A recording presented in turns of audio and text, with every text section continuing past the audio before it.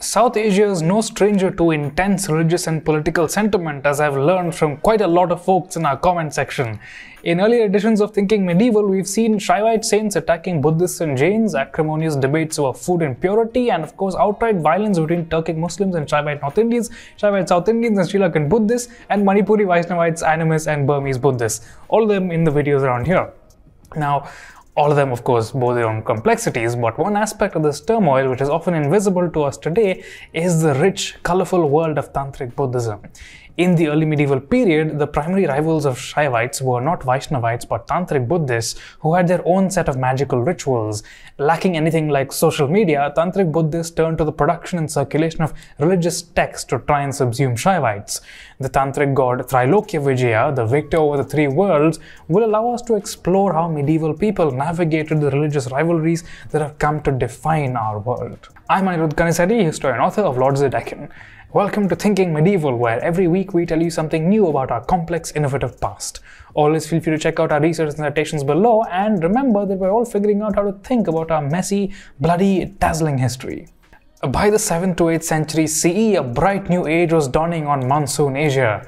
Stretching from Kashmir to Vietnam, a huge proportion of the world population had come to live in very similar states based on the cultivation of irrigated grain.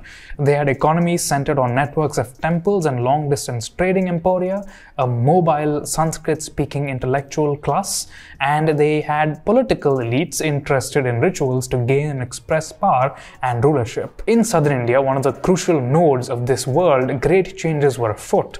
The Pallava dynasty, one of whose princes had become a tantric Buddhist master and immigrated to China, as we saw in this video here, was beginning to turn decisively towards Shaivism.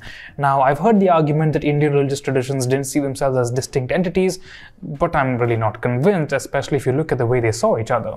For example, soon after dynasties began to turn to Shaivism, the Buddhists composed a text called the Assembly of the Essence of All Buddhas, Sarva Tathagata Tattva Sangraha.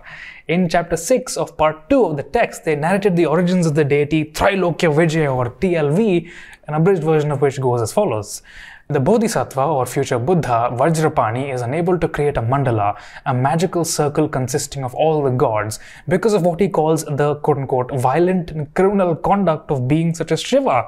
The cosmic Buddha Vairochana intervenes, chanting a mantra that leads to the creation of the wrathful god TLV. Vairochana then chants another mantra which drags Shiva and his entourage into his presence. Shiva refused to acknowledge TLV's authority, saying, quote, Hey, you're just a pathetic nature spirit. I am the creator and destroyer of all beings, the paramount lord of the three worlds. As you can see, Shiva is deliberately cast in a petulant manner. But all his bravado is for nothing, as TLV simply utters a mantra, throws him to the ground, threatens again, embarrasses him before his retinue, and then tramples both Shiva and his consort Parvati. At last, Vairochana intervenes again, granting Shiva nirvana and rebirth as the Buddha Bhasmeshwara Nirghosha. A colorful story, but also a very political one. Shiva, emerging as the dominant god of a world of luxurious royal courts, is presented as an immature, undignified, egoistic being, in stark contrast to the benevolent and merciful Buddhas and Bodhisattvas who nevertheless possess righteous wrath and powers to back it up. The implication was that Buddhist ritual experts and the kings they initiated were both morally and magically superior to the Shaivites. But this argument was only partially successful. It was mostly in Bihar, the stronghold of monastic Buddhism, where TLV became truly popular in the subcontinent. Elsewhere in South Asia, the monastic and ritual bulwark of Shaivism more than weathered this challenge. Uh, more on Shaivite matters here. Now, in parts of Asia where Shaivism was barely present, TLV's worship really took off, especially in China and Tibet. But Java offered an interesting new ground for the god. With both Shaivism and Tantric Buddhism popular on the island, the Buddhists used some rather sneaky techniques to achieve primacy. During the 7th to 8th centuries, Java was slowly developing into a major power. As historian Kenneth R. Hall explains in a history of early Southeast Asia, groups in rice cultivating villages selected local big brothers or Rakrayan who sought ritual powers through temple and monastery construction.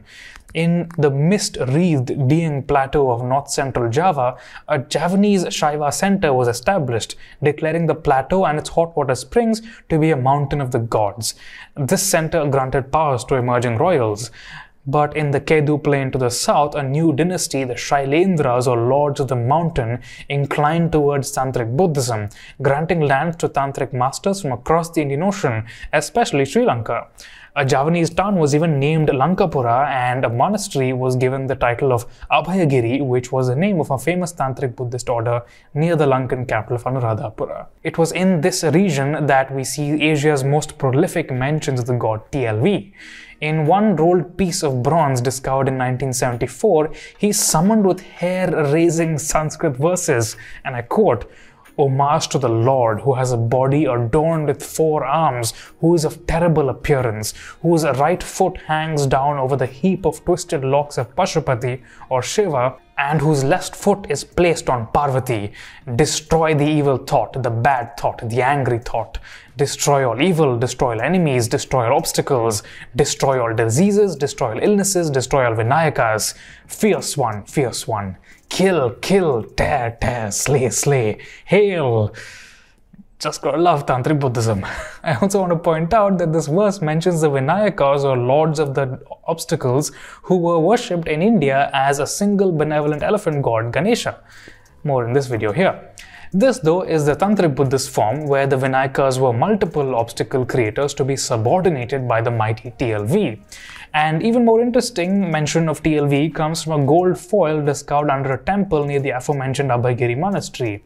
Here the mantras of TLV are inscribed but within a loopy font within which the name of a Shaivite Javanese king is written. It's highly possible that this was meant to harness TLV's powers of summoning, subjugating and Buddhifying Shiva, applying them to a Shaivite king whom the monks were seeking to convert.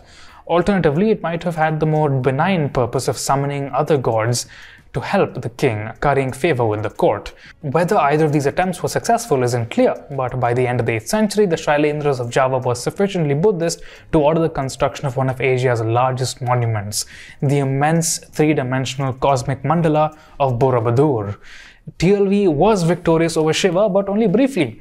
We will visit Borobudur and see the responses of Asia's Shaivites in future editions of Thinking Medieval. If you have questions or comments, we'd love to hear them. Follow us everywhere on social media. You can find me on Instagram at Anil Buddha and at Connected Histories and on Twitter at AKanisetti. We'll see you next week.